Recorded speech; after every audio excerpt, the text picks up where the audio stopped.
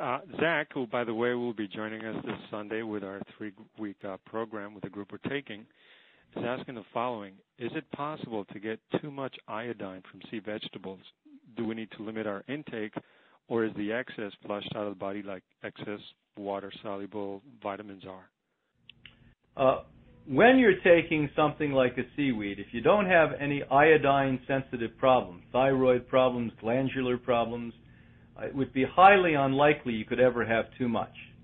Now, on the other hand, if we take people with long-term selenium deficiencies, this is really uh, the best recipe to destroy your thyroid besides chemicals going into it.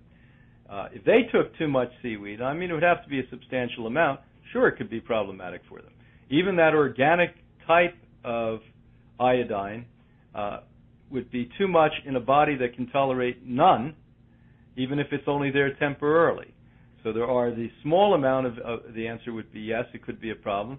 The vast majority of us answers no, because as you pointed out, biologically it would just come out of the body in a natural occurring way.